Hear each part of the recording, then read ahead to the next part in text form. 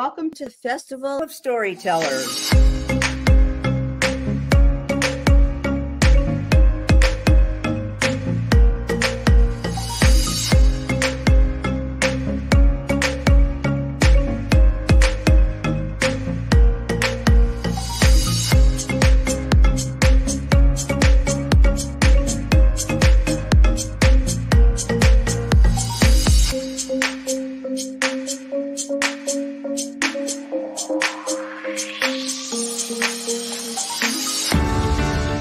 Can't tell you how excited I am to be on right now. Uh, it's been a couple of weeks of, of excitement, uh, getting prepared, and I've done a lot of things in my life, but this has got to be close to the top. Thank you, Reader's Magnet, and thank you, John, for um, putting this forth and taking the chance on us authors in in, uh, in presenting this out to, to the world. I've, I've enjoyed this immensely, Joanne. Ellie, so have I. Thank you for, for who you are, and thank you, Reader's Magnet. You all are beautiful, and you've worked so very hard, and we are blessed. We, we are. are. I thank everybody that's involved with this process because we know writers need readers and writers need publishers. We thank Reader's Magnet and everybody that's involved. I love Reader's Magnet. They say, we share your stories with the world.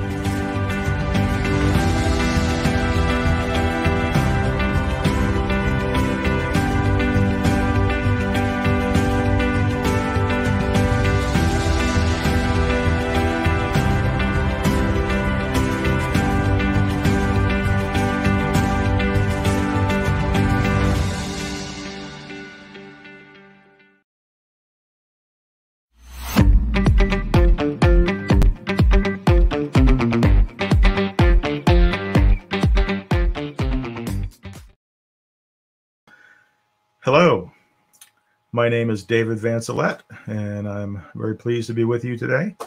We're a little late getting started. My apologies. There are some technical issues, and it's computers. What can what can I say? this is my second uh, go round in the live booth, so I thought I would just try to give a quick uh, recap of what I talked about the first time because it's it builds on each other uh, symbolism is uh, how God thinks, and it's also how we think as human beings. One American philosopher uh, said, Human beings think, we think only, only in symbols. So every time we look at something, we don't have the thing in our brain, like if you're looking at a cake on a table, the cake is not in your brain, or that would be a massive headache. You have an image of the cake, and that image is a symbol. A symbol is something that stands for something else. A red light on uh, on the street tells you to stop. There's nothing in particular about red or a round circle or a light that means stop in and of itself. It's just a convention that we've made up. Well, God has made a convention as well. It's called human beings. And he made us to be in his image. Therefore, we are a symbol of him and we stand for something else. We stand for him, both males and females. Uh, Eve had a sort of a double image because not only was she made in God's image, but she was also taken out of Adam. So she's a representative of Adam as well. When God looks at Adam and Eve, he sees two symbols. He sees a symbol of himself in Adam, and he sees a symbol of all living people in Eve. Um, I think I'm going to go right to this uh, whiteboard and try to get into uh, symbolism this way. Um, let's see. How can I do this? Here we go. This is probably better. Here we have God. Well, let's see. Let's start with Adam and Eve. okay, Adam is made in God's image. and in marriage, Adam is married to Eve. So, on the same level, since we are images of God, the way our human marriage relates to God, human marriage is a symbol itself. It's a symbol of God. And oh, this is not going to work. Let's see if I can do it. It's, it's a symbol of God. Sorry about this. Everything's backwards. I feel like C3PO. I'm backwards.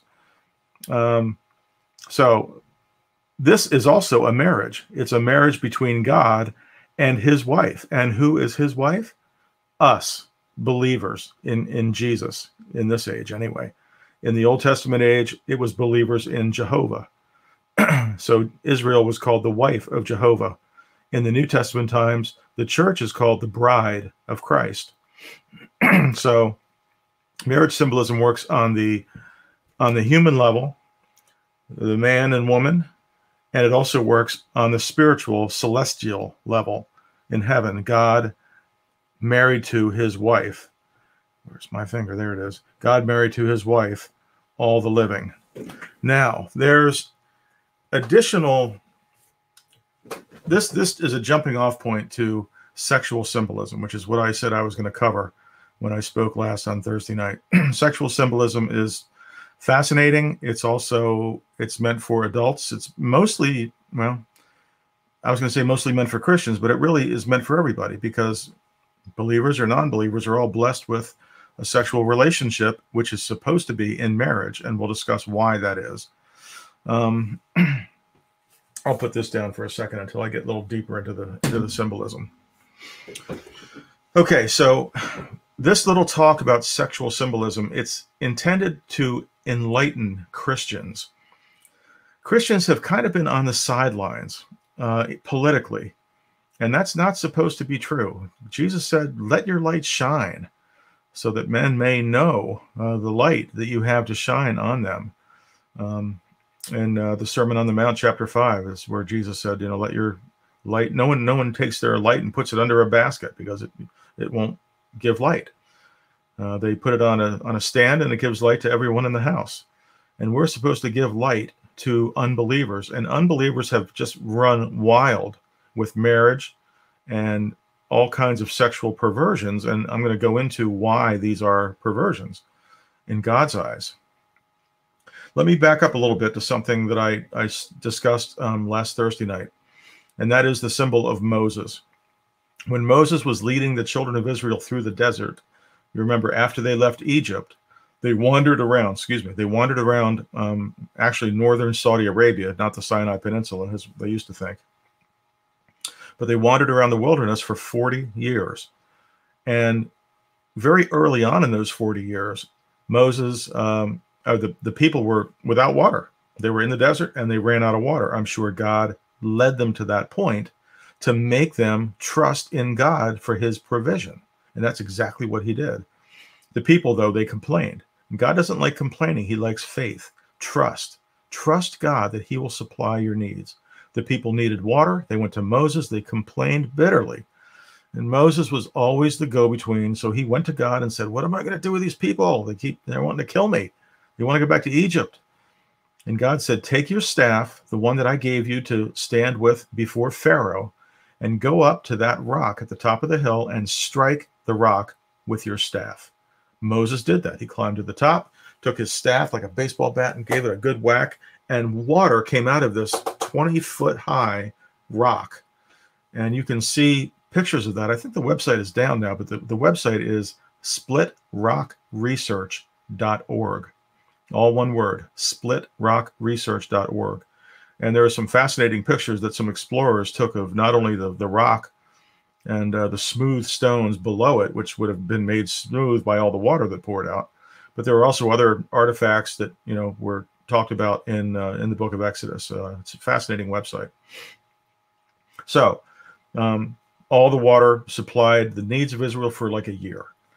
Now, fast forward about 38 years or so, they have the same situation again. It's a new generation of people about to go into the promised land. And again, they're in the desert and they had run out of water. This time, God told uh, the people again, dutifully complained to Moses. Moses went to God and said, and God said, Moses, go and speak to the rock. Speak to the rock. And that's all he said. And Moses went out and said, You rebels, do I have to take this, uh, strike this rock and give water to you. So Moses was way out of bounds here. He was angry. He was tired and fed up of all the complaining. He had shouldered so much of the burden of Israel uh, these, these 38, 39 years. so He goes to the top and strikes the rock a second time, just like he did the first time.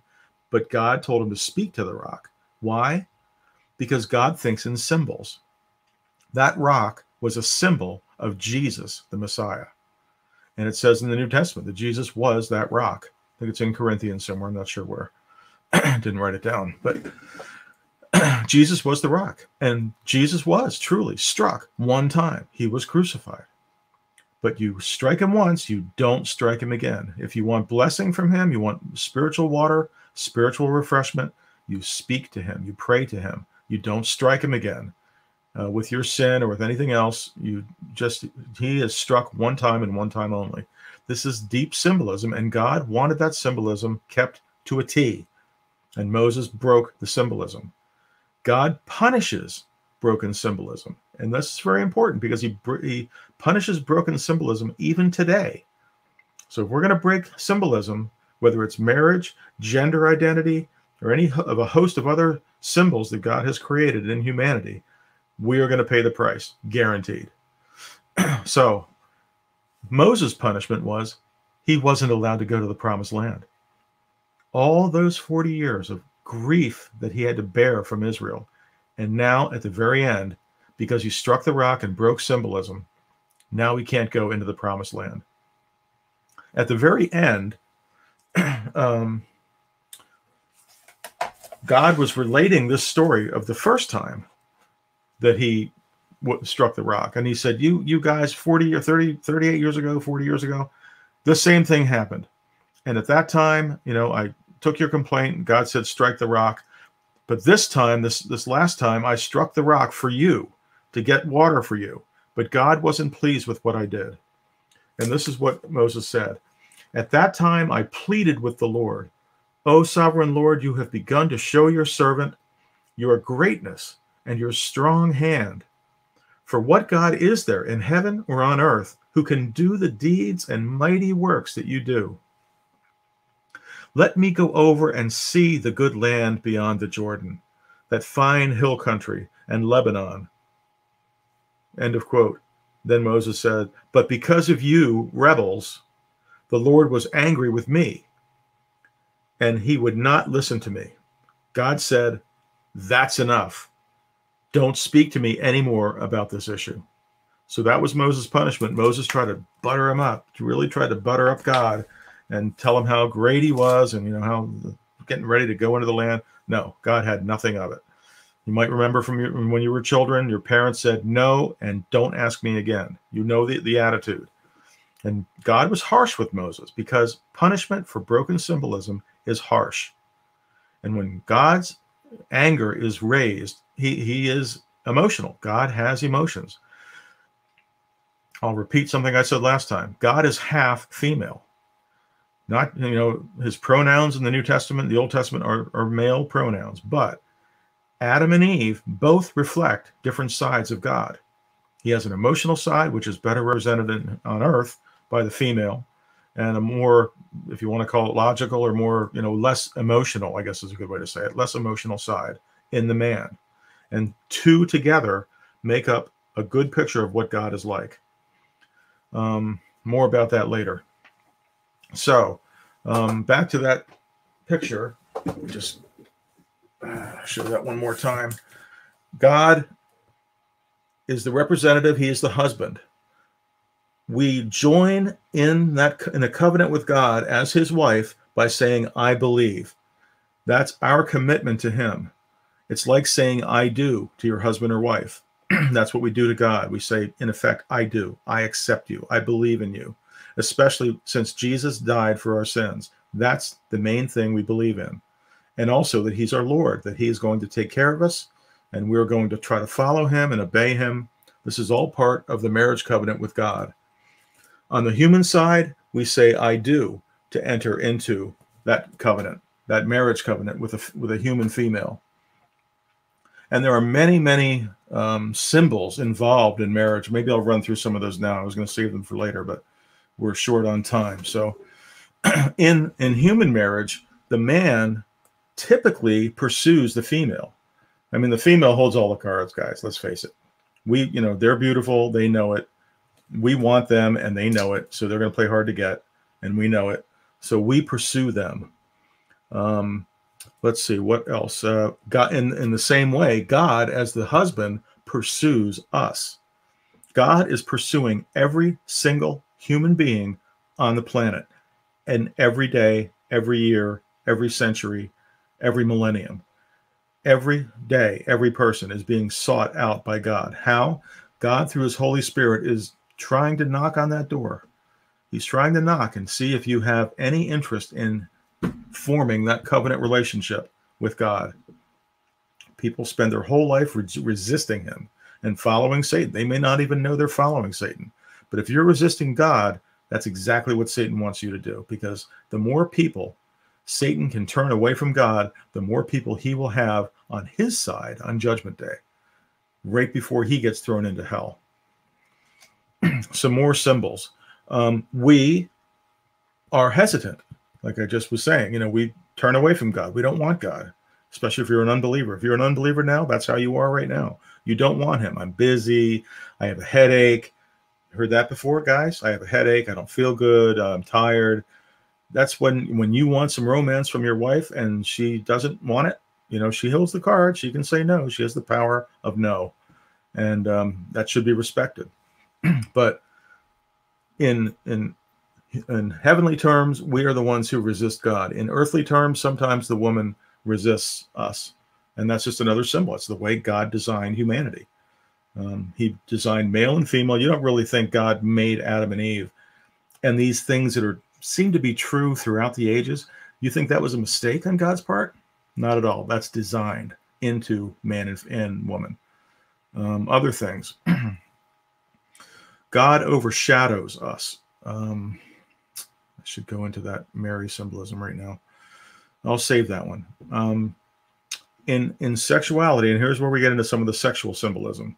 In in human sexuality, the man penetrates, sorry to get graphic, but penetrates the female.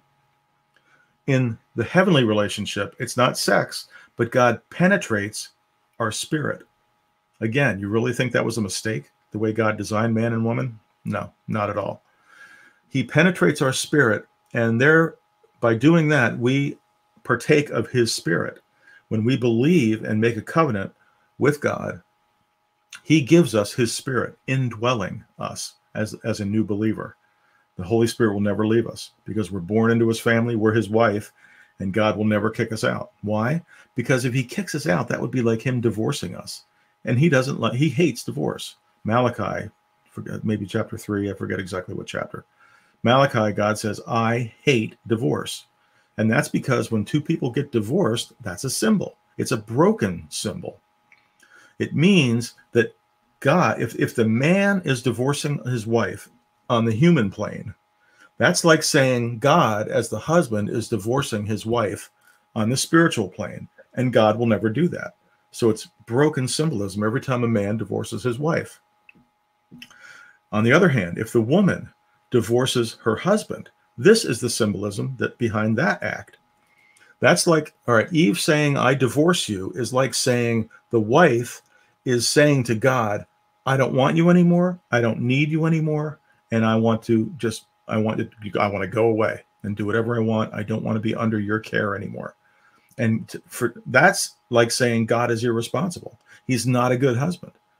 So when a woman divorces her husband, that's like God being told he's not a good husband.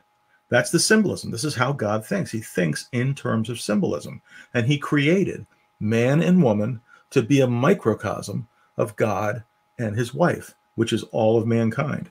In Genesis 3:20, it says Adam named his wife Eve because she would become the mother of all the living.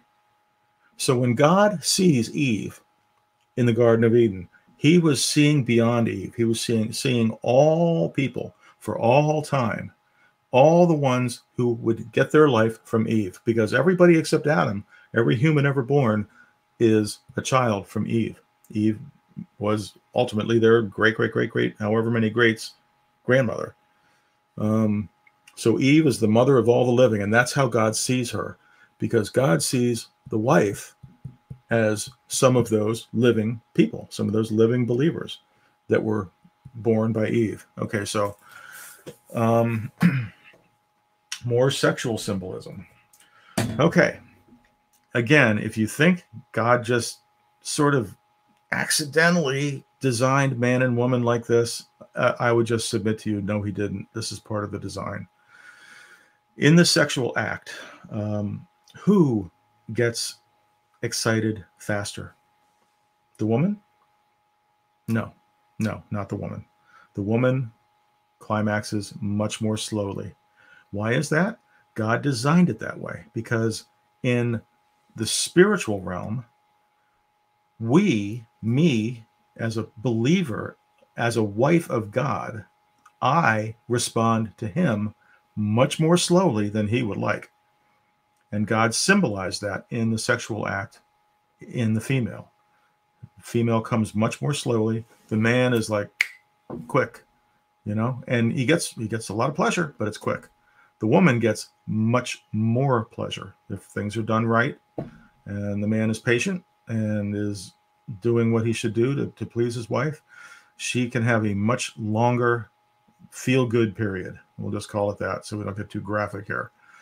Um, and again, God does get, he actually gets pleasure from us in a spiritual relationship. When we allow him to penetrate our spirits, that pleases him. He gets pleasure from that. We also get pleasure. Our pleasure is eternal, it's everlasting. It never stops. I mean, it's and it's going to get better and better and better. As a wife of God, as I am a wife of God, it's going to only get better for me. I might respond to him slowly, but the blessing that I get from him lasts forever and ever. It never stops. So that is symbolic of the pleasure that a woman gets in the marriage relationship. So these sexual symbols are, like I said, they're not accidents. God designed men and women this way. And the more a man seeks to understand and please his wife, the closer he is going to be thinking along the same lines as God. This is another amazing thing about human marriage that if you stay together and learn to live with your wife, and your wife learns to live with her husband, you are going to learn and benefit a lot of information from God. And it's just it's just how he made it. So stay married. Um, I am a, divorcee. I divorced. Uh, I was divorced. Um, and I'm remarried now. But and I, that was a mistake. Uh, I made mistakes in my first marriage, and my wife got tired of everything, and she walked away and divorced me. And I regret that. I regret that I didn't learn fast enough. Um, personally, I didn't have a real great relationship, uh, family relationship. My parents were divorced, which puts me in a, in a group of people who are more likely to become divorced if your parents were. It just you know goes from generation to generation, and you just don't learn the lessons. Um, okay, so we talked about divorce. We talked about the pleasure of the sex act. Um, let's talk about some objections that feminists have to this whole thing about sexual symbolism. The man being the leader. This is patriarchy. Uh, feminists hate patriarchy. It's it's a for them it's a means of their oppression. The man is stronger, um, and I, I should also make mention of this. Um, in human terms, women are not going to like to hear this, but there's a good ending to it. So just bear with me for a few minutes. Let me check my watch. Okay. God made the man, Adam, first. He made him to be stronger than the woman. However, the man is still weaker than God. So when it comes right down to it, if you compare the strength of the man and the strength of the woman, we're about equal when you compare us both to God. God is just stronger. There's no, no two ways about it. He's dealt with strong figures before. Satan. He gave Satan much power, much wisdom, much knowledge, much responsibility. He was overshadowing the throne of God. That was his position. He hovered above the throne of God to protect God against any other angels or demons or anyone else. Um, maybe even those who hadn't been created yet. But it, it, the, the Hebrew actually indicates that Satan was overhead, overshadowing uh, God in that position. So he had a very exalted position, very strong character. God had enough of the strong character. So he made man a little bit lower than the angels and a little weaker, woman a little weaker still. and that's seen in things like physical size. Um, there's women are on average smaller than men. Of course, there were women who were taller than some men, but on average, worldwide, for all generations, men have been taller than women. This is called natural law. You just you're fighting biology if you deny this. There's also some emotional. Uh, you can call it emotional strength or emotional weakness. The idea is there's an emotional difference between male and female. And there was a, an article in Psychology Today. Mm, I didn't write down the date. Email me if you want the date. You want to look this up. Um, they they tried to see who reacted how in different scenarios. They had a man, several men, several women, and what they found was females reacted more and negatively to things like mutilated bodies, physical violence, suffering, or dead animals. Animals suffering or dead animals. And this was a pattern that they observed across ages 20 to 71 consistently. Women felt stronger with those images than men did. They were more bothered by them. They were more hurt by them emotionally. Men, not so much. Um, so, but they noticed this across from age 20 to 71. So it's hard to say that women are not emotionally more sensitive, let's put it that way, than men. That's another difference between male and female. And again, God made it that way. In our relationship with God, you and me as the wife of God, okay? So bring it back up again. As the wife of God, who's more sensitive, God or us? Who's more willing to say, no, I, I don't want, I don't want to go through this, whatever God, whatever you're putting me through, I don't want this. Human beings especially the, men. I mean, God's. I, I when I when I sin, and I still sin, and there are times when I sin and I know I'm sinning, and I regret it later. but you know, I've sinned. Okay, so I've sinned, and God, I can hear God saying to me, "Are you out of your mind? You're sinning against me on purpose. How could you do that?" So who's weak in, in that scenario? The woman? No, I'm a guy and I still sin. God has made the woman weaker to show me as a male what God thinks of me and my strength. You know what he thinks of my strength? Not so much. Not so much. So again, the symbolism of the woman is so important. oh, I forgot. I want to point out one thing before we sort of maybe leave this forever. Guess what? To, in God's eyes, men equal women. We're the same. Men are not better than women before God. We're equal before God. And that's something to keep in mind, especially men in marriage, maybe even in a tough marriage. They're equal to us. So if you are going to be, you know, offending them, hurting them, whatever, your prayers are going to be hindered. Bible says that. God wants us to treat them with respect and gentleness because that's how He made them. He made them more gentle than us, He made them weaker. And in the Garden of Eden, after the sin, after Eve first sinned and then Adam followed right behind her, no doubt he would have jumped off a cliff if she asked him to do that too. Um, God gave difficult, changed his his relationship to man he made man more um, he gave man more work to do. Man could you know was going to have to till the soil but now it's going to be harder. It's going to be much harder. It's not going to yield its fruit vegetables like it did before. He's going to have to take weeds are going to get in the way bugs all kinds of things. It's going to be harder for him. That was part of his punishment for following eve and eating from the tree of the, of the knowledge of good and evil. For Eve, he made her, he made a metaphysical change within Eve's spirit. When a woman gets married, a woman is more dependent in love on her husband. God made that change in the in a married woman. Maybe not so much in a single woman.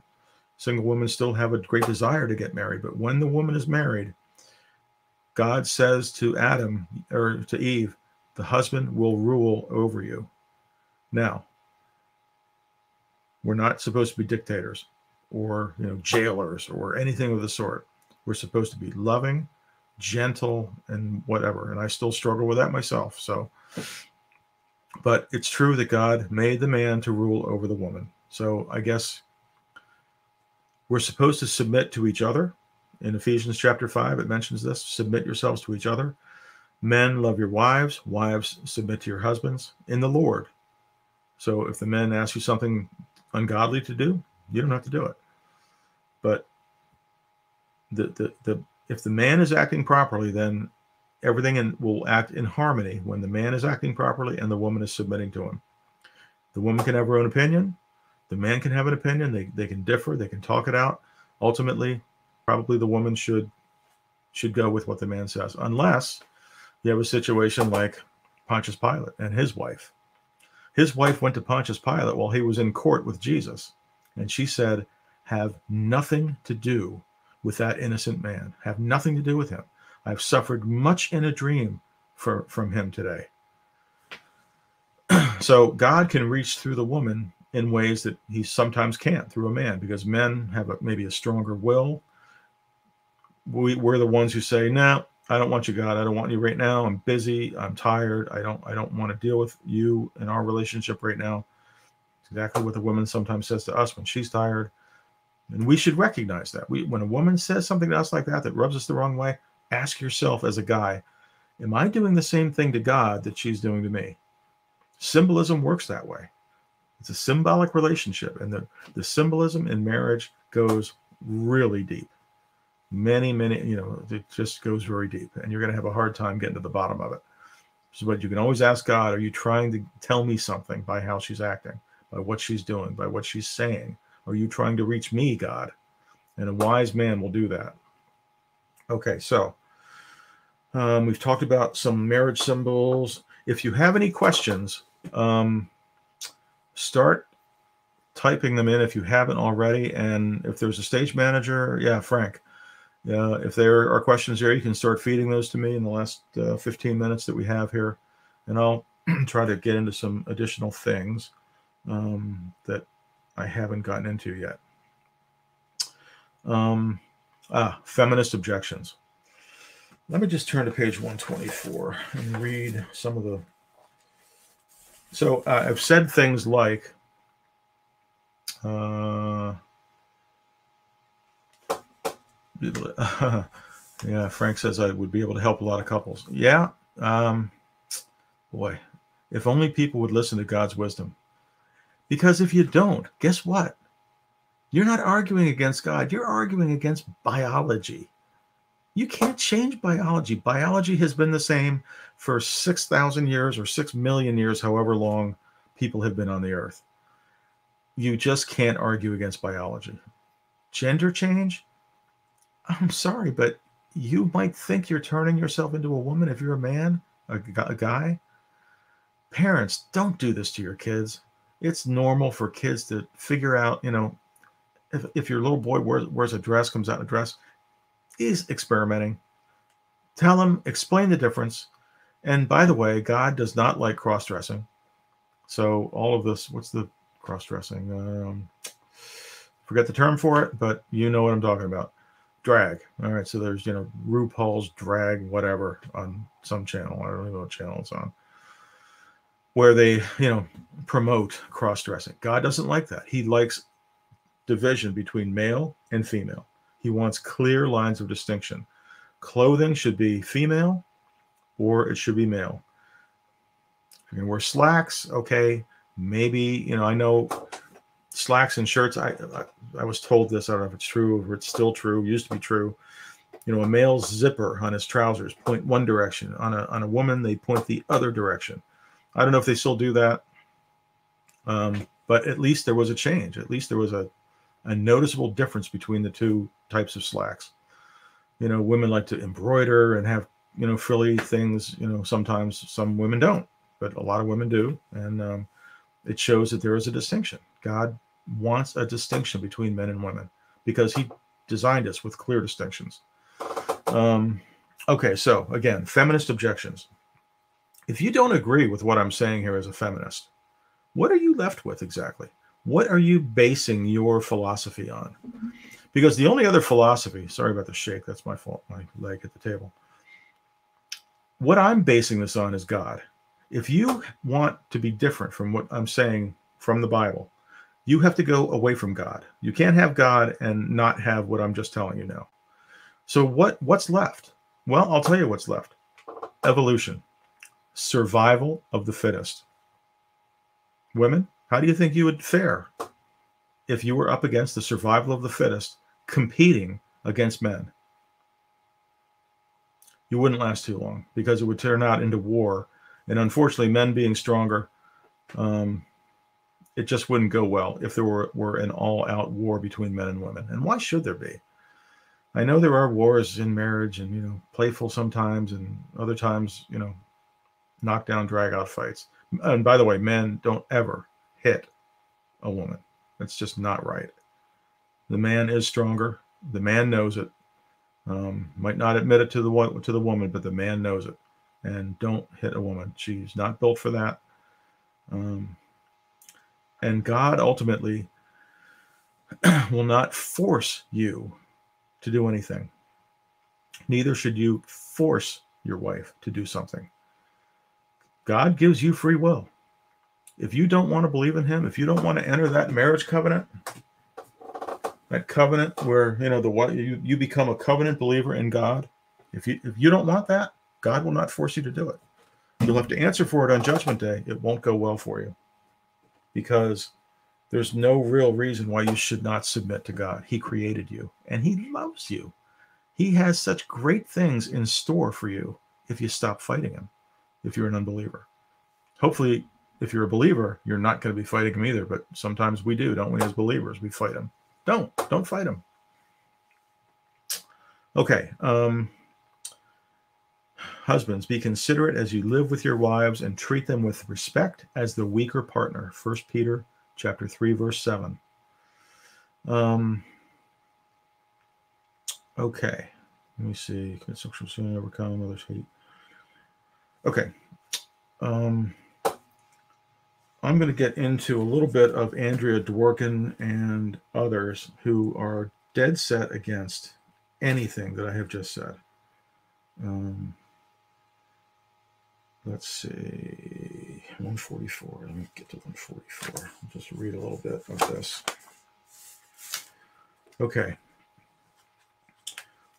Mary, when she was told when she was visited by the angel Gabriel, I think it was, um, was told that she was going to become pregnant by God.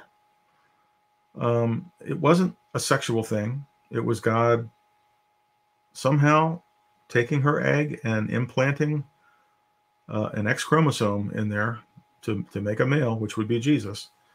Um, no, is it the Y? No, the women have the X. The man is the Y, I guess. So implanting a, a Y chromosome to to form a male, which would be Jesus. Don't know how that happened. It wasn't sexual. God didn't have some kind of sexual act performed on her. It was a spiritual act, but it affected her physically. Obviously, she became pregnant. Um, when she said this, she said this to the to um, to the angel. How is it that this could be true? Oh, I'm on the wrong page. How could this be true? She said since I am a virgin. The original Greek wording of that phrase is this How will this be since I have never known a man? Very important that word known. The word know throughout the Bible has a double meaning. It just it could mean cerebral head knowledge. It could also mean sensual knowledge, carnal knowledge of a man or a woman. And God obtains knowledge of our spirit by penetrating our spirit with his spirit. The man obtains carnal knowledge by penetrating the female. and obtaining an amazing amount of knowledge and feeling about what his wife is like uh, through that act. So the word know can mean a sexual act, and here Mary uses it that way. Um, Gabriel answers, um, The Holy Spirit will come upon you, and the power of the Most High will overshadow you. The feminists hate that word overshadow because sex requires an overshadowing and a penetration of the female by the male. The man, I don't want to get too graphic here, but you can read all the Cosmo magazines you want, and they talk about all kinds of positions that sex can, you know, you can have in sex. But if you read between the lines, what most women prefer is the missionary position. Why? Because they get the most pleasure from that. Um, why did I say that? Um, okay. In the missionary position, that's when the man overshadows the woman, and that's what the feminists hate. and I'll give you an example of that in just a second. Um, the Most High will overshadow you feels offensive to many who subscribe to feminist ideologies.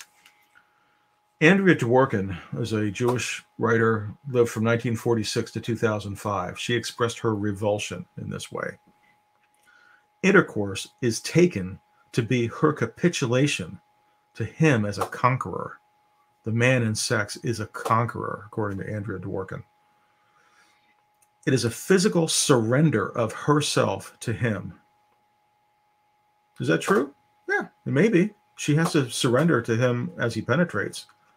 But you have to surrender to God. That's the symbolism. You have to surrender to God in order for him to penetrate your spirit. That's why he made it this way. That's why he designed the sex act this way. It wasn't an accident. Everything in sex was designed by God to be a symbol of his relationship to you as a believer. Okay. It is a physical surrender of herself to him. He occupies and rules her, expresses his elemental dominance over her. Oh, they hate that dominance. By his possession of her in intercourse. Mary, in the view of the radical feminist, must have been oppressed by God in the same way. Was Mary oppressed? Apparently so. God oppressed Mary in the in the mind of a feminist. feminist author Sarah McDavitt Woods, in her hate-filled article, "Jesus was a rape baby," also echoed the opinion that Mary, mother of Jesus, was overshadowed by God, making him a rapist and a predator. Watch watch the time here. Um, McDavitt wrote, Mary was not a wild child, but a girl living in a rigid patriarchal world who was raped by her husband or a soldier or some other predator. In the biblical narrative, that predator was God. God the Father overshadowed the child bride, Mary, impregnating her with his one and only son. She reported the reported savior of the world. So you can just feel the hate dripping out of her writing. Um, running out of time. Uh, I figured we got started late. I knew I was going to run out of time. Okay, one question here. Um, do you see writing as a kind of spiritual or therapeutic practice? Yes, I do. Um, I came to these conclusions by reading the Bible cover to cover once a year for 45 plus years now. And every time I read something about the word know and seeing it in a sexual context, it did something with my head. I wanted to know more why, um, and I realized how how symbolic sexual act was. So yes, writing this book has been very cathartic and helped me understand. Hope, hopefully, made me a better person. Hopefully, made me more respectful of women. Uh, my wife might argue with that. I have a long way to go, um, but it's a great ride. And if you're not a believer in Jesus, please you don't know when he's going to call you home. You just don't know. Don't put it off. Believe in Jesus. Become his bride. Say to him, I do accept you as my Savior, the one who died for my sins. He's the only one. If you don't accept him, you're going to stand before God on Judgment Day in your sin because he will not have been your Savior. And then you're left to deal with your sin before a holy God and that will not go well with you. I wish I had more time. I'm I'm going to be back again tomorrow, Sunday at 3 p.m. and I'm going to pick up right where I left off here. There's a lot more that I meant to cover, um, and I'm just not going to have time to get to it. Has writing and publishing a book changed the way you see yourself? Hmm. It's a success of a sort to finish a book. I've been working on this book for about 20 years, long time. I've put it down for a couple years at a time, several times, picked it back up. I really feel like God said, Dave, you have to write this book, period. You have to write it. And I would just say, just write, just like a woman will sometimes say, nope, no. I said to God, nope, I don't want to do this now. There I am playing the female, being reticent, you know, pushing back against my spiritual husband. It's just how he made marriage, and that's how he made gender. And I, when I say that, when I say when I say to God no, that's the first thing that hits me, that enters my mind is I'm acting just like a resistant wife would act toward me. And so therefore I don't want to do that. Okay, God, I'll do what you want. I may not want to, but I will. So yes. What risks have you taken with your writing that have paid off? Hmm. Well, none as of yet. Um, it's a new book. It just came out at the beginning of September, so there's no financial gain from it yet. Um, there's a lot of marketing involved to get a book known, and whether I have the money to really make that happen on a larger stage, I don't know. Hopefully, word of mouth will get out and uh, it'll do well. Uh, risks that I've taken that have paid off. Well, I understand things better now, and I can see if there are friends or if I have an opportunity to to say something, to point out something symbolic to someone, um, I'll, I'll take that opportunity, and, and, that's a payoff. That makes me feel good that I, I'm able to shed some light on how people think, and maybe give people a little bit of understanding as to how God thinks. And that's the name of the book, How God Thinks. Um, the subtitle is Revealing God's Heart, not just his mind, his heart, how he feels revealing God's heart through the language of symbolism. So, another question What part of the book was the most fun to write? Hmm. It was fun to write about Michelangelo. I didn't get to that. I wanted to show you some pictures and uh, just explain some of the things he did that reminded me of, you know, of God. Um, maybe I'll get to that tomorrow. Probably not. But I'm also speaking Monday night at six just like it was six o'clock tonight, Monday and Wednesday and Friday. Monday, Wednesday, and Friday, 6 p.m. You can pick up more pieces of this. I won't be repeating a lot, so it'll be all new stuff. Um, the, f- most fun, hmm. you know, this is really when it, when you're talking broken symbolism, it's not fun. It's not fun to understand. Um, to see to see how God hurts when we break symbolism. When Moses broke symbolism by striking the rock twice, and how he had to suffer uh, not going into the promised land after 40 years. It I, I want to avoid breaking symbolism now. I want to get close to God. I want to be his friend. I want to be his lover. I want to be someone who is so sensitive to him that I know I can hear him breathe through his spirit. When his spirit leads me in a direction, I want to follow it immediately. That's where he wants us. He wants us to love him that deeply. And so that that's a payoff right there. Um, and it, it's fun to advance. It's fun to advance in my relationship with God through writing this down and clarifying. Because whenever you write something, you have to clarify it in your own head. Otherwise, it's going to be garbled when you write it.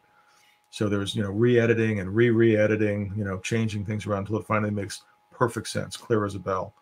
And that's uh, that's what happened with this as well.